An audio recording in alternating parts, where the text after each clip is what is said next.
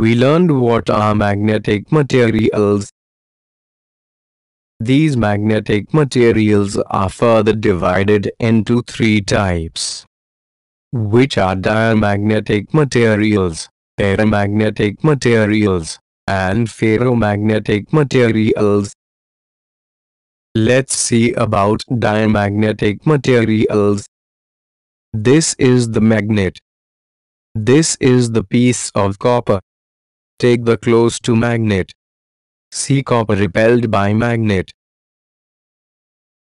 This is the piece if gold. Gold also repelled by magnet. This is water. Water also repelled by magnet. This is mercury. Mercury also repelled by magnet.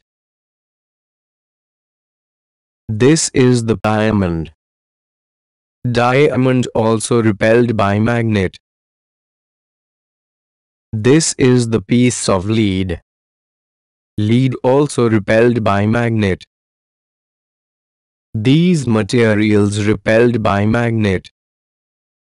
So these material are known as diamagnet materials.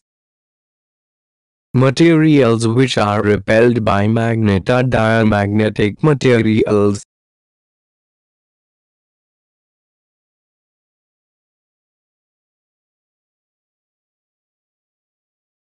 Now let's see paramagnetic material. This is the magnet. This is a piece of aluminum. Take it close to magnet. See aluminum attracted by magnet. But this attraction is weak and small. This is the piece of platinum. Platinum also weakly attracted by magnet. This is the piece of chromium. Chromium also weakly attracted by magnet. This is the piece of magnesium. Magnesium also weakly attracted by magnet.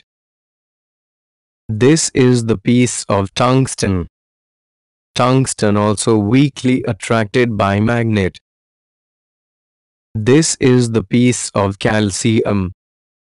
Calcium also weakly attracted by magnet. These materials are weakly attracted by magnet. So these materials are known as paramagnetic materials. Materials which are weakly attracted by magnet are paramagnetic materials.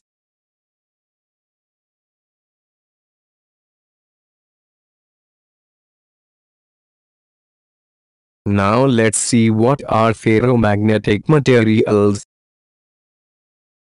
Take a magnet and a piece of iron. Observe there is a strong force of attraction between magnet and iron. With great force and effort, iron can be separated from magnet due to this attraction. We can say iron as ferromagnetic material. Materials which are strongly attracted by magnet are ferromagnetic materials. Along with iron, Nickel and cobalt are ferromagnetic materials.